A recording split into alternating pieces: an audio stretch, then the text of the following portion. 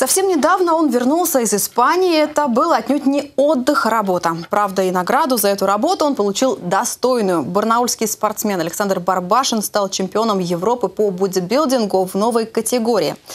И сегодня Александр гость нашей студии. А еще у нас в гостях Денис Капустин, тренер Александра и президент Федерации бодибилдинга Алтайского края. Ребята, здравствуйте. Здравствуйте. Первый вопрос вам. А, ну уж не женщина, поэтому позволю себе спросить, как в свои 40 вы вообще решились на такой шанс? Шаг не боялись ли, что молодые спортсмены вас, что называется, обойдут? Ну, как вам сказать? Наверное, кризисный возраст. Доказываю, что еще, могу, еще буду. Но это все шутки, конечно. А на самом деле э, бодибилдинг такой вид спорта, в котором, наверное, все-таки нет таких четких возрастных э, граней. Э, в том году, э, выступая на Европе, у меня также стал чемпионом Европы, у меня ребята в категории были 20-25 э, лет в среднем. В этом году я выступал э, в своей категории, в категории мастера, э, за 40 лет. Вот, э, поэтому, ну, на самом деле, как бы... То есть вы соревновались с такими же, собственно, по возрасту спортсменами. Да, да, да, да. И как-то вот мысли про возраст подкинули а. только что, как бы. А вообще интересно, как выходят на пенсию вот бодибилдеры? Есть у них а, Не знаю стаж? пока. Пока, как выйду, расскажу. Пока не знаю. Ну, вот я знаю, что легкоатлеты очень рано как-то пенсионерами становятся. Гимнастки.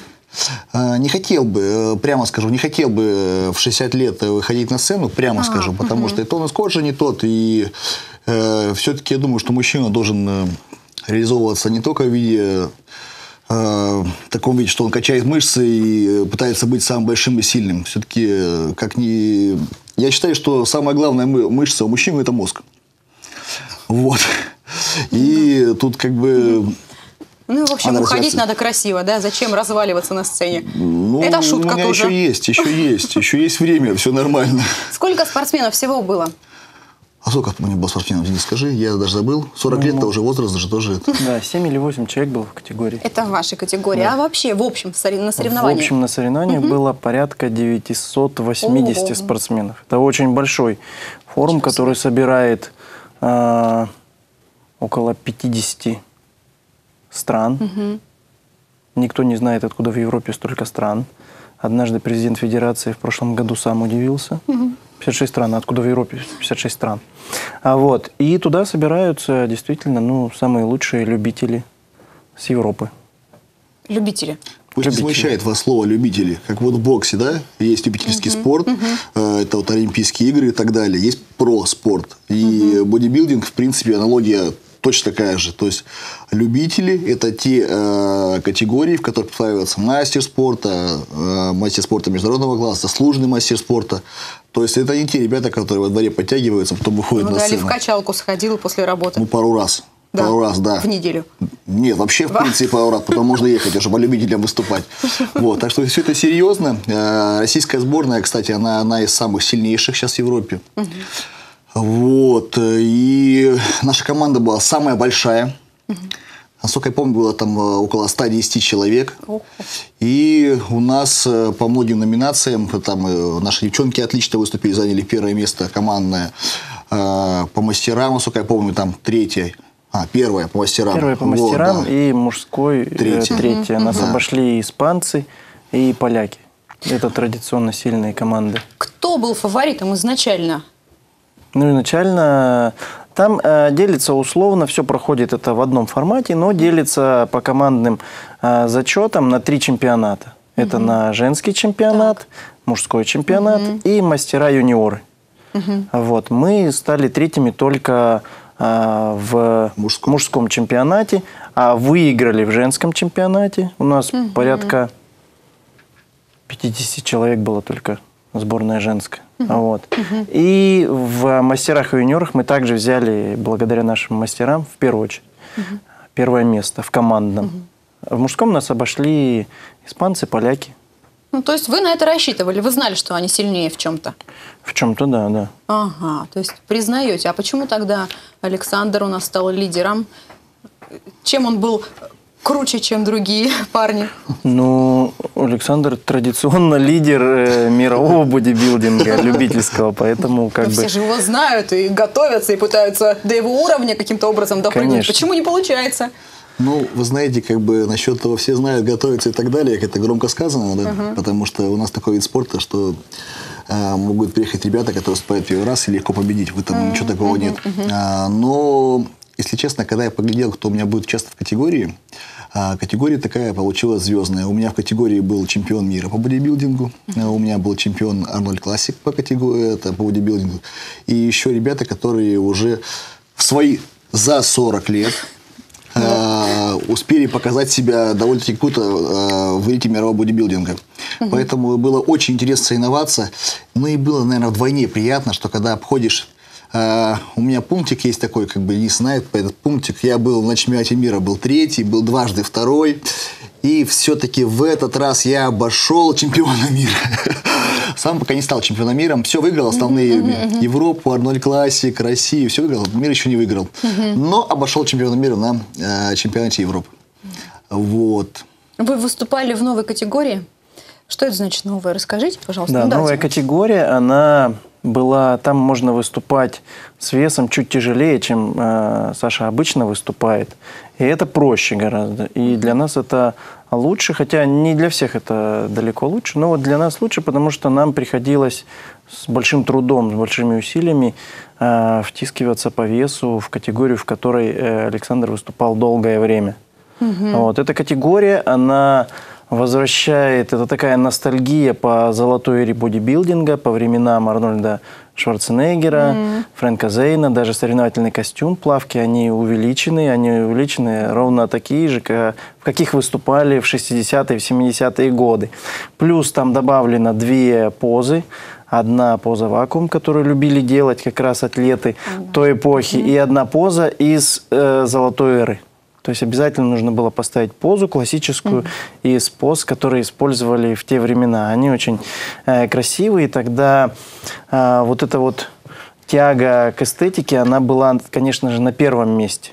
Вот, тяга к красоте, к эстетике, к вот этой скульптурности э, тел. И поэтому это такое возвращение, она э, большинству людей очень сильно нравится, большинство людей ностальгирует. Ну и, конечно, здесь э, э, очень большие требования предъявляются к позированию. Позирование должно быть однозначно эстетичное, оно не должно быть э, напористым, как э, в бодибилдинге, оно не должно подавлять, а наоборот показывать всячески красоту. И это тоже Ну, учитывается. Вы не раз сказали слово ностальгия.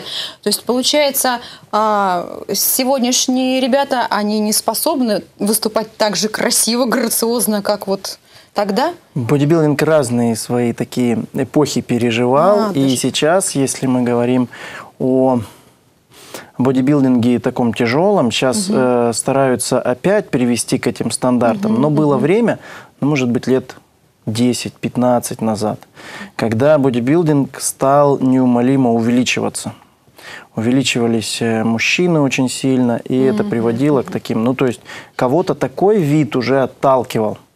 И поэтому э, функционеры Федерации международной, они начали вводить более легкие категории.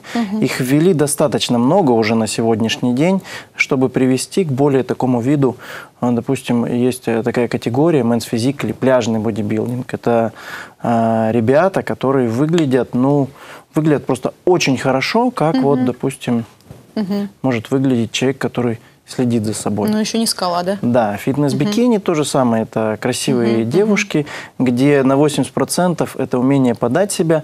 Ну и, конечно, безусловно, хорошие природные данные в первую очередь.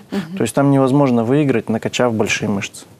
И поэтому вот сейчас бодибилдинг, он именно возвращается к такой естественности, натуральности. И поэтому вот это одна из категорий, которая...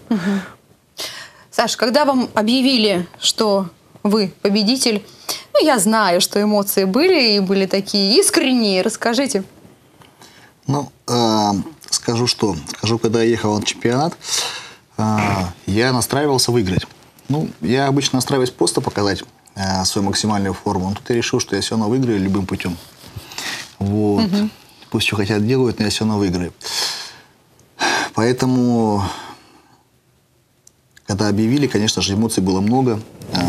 Такая, знаете, такая финальная точка. А, я смог, я сделал. Было тяжело. А, а, тренер запрещал есть колбасу, сосиски, поэтому, да, без Вы пирожных. любите, да? О, вообще все люблю. Нет, шучу, на самом деле, как бы это не мои продукты. Ну. Вот.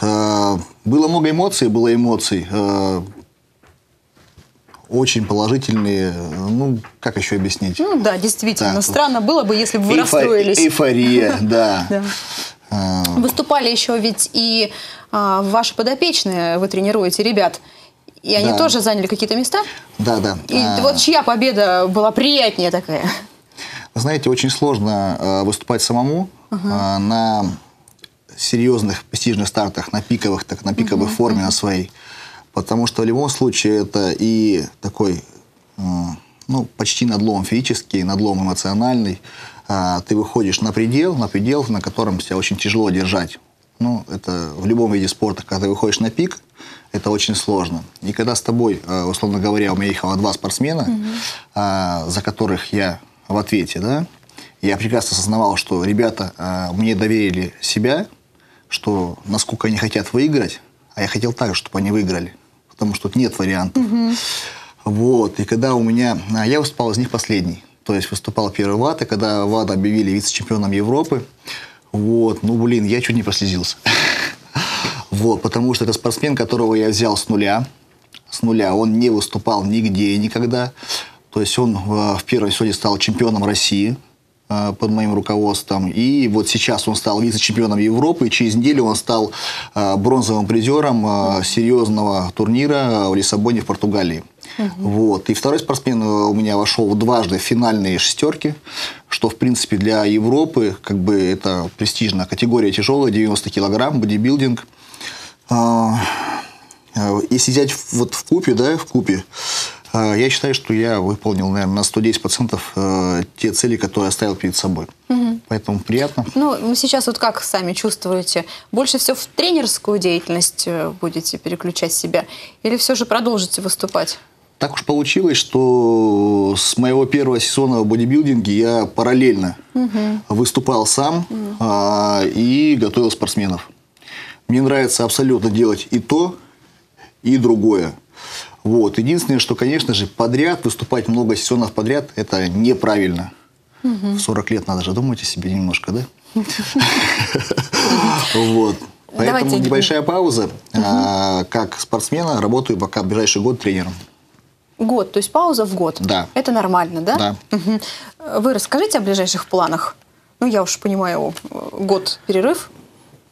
О ближайших планах у меня ну, достаточно много спортсменов, и планов много, и мой соревновательный сезон в качестве тренера еще не закончился далеко, и он, видимо, будет таким нон-стопом идти. Так у вас же, наверное, круглосуточный сезон. Да. Круглогодичный в смысле. Да. А вот, поэтому то, что касается нашей федерации, она развивается, количество а, людей, э, спортсменов увеличивается, а работа как бы ведется ну, такой по нарастающей, можно сказать. И несмотря на то, что наш край такой он достаточно отдаленный от центра, то есть это сложнее ездить на а, различные турниры. Но, тем не менее, мы стабильно входим в десятку. В прошлом сезоне а, осенью мы были пятыми в командном зачете среди 62, по-моему, регионов.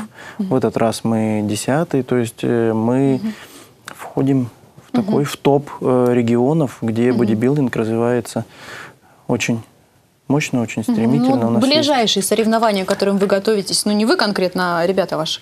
А, ближайший, ну, у нас все-таки поделено по сезонам. Это будет а, массовый такой сезон, в котором будет участвовать вся наша сборная алтайская. Это осенью он наступит, в середине сентября, и он будет продолжаться также, я думаю, до начала, до середины декабря. Мгм. В общем, правильно, нужно немножко отдохнуть.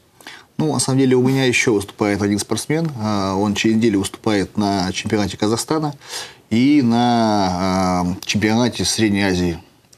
Вот через неделю я могу сказать, что у меня соревновательный сезон, как у тренера, закончен. осени. Ну, значит, вашему спортсмену желаем удачи, Спасибо. вам, соответственно, тоже, и всем спасибо. Спасибо большое. Я напомню, что сегодня у нас в гостях Александр Барбашин, чемпион Европы по бодибилдингу, и его тренер Денис Капустин, президент Федерации бодибилдинга Алтайского края.